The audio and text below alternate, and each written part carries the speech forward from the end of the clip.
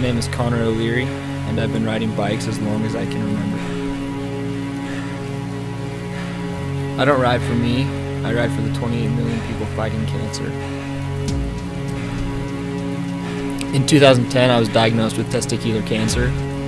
Instead of slowing me down, it made me realize every day is a gift, and I have to push it harder.